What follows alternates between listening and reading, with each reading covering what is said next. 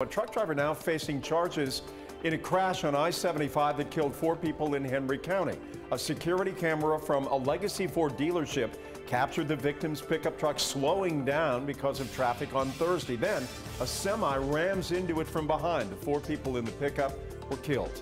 Tonight, the semi driver, Mojave McCoy, is now charged with vehicular homicide for driving too fast for those conditions.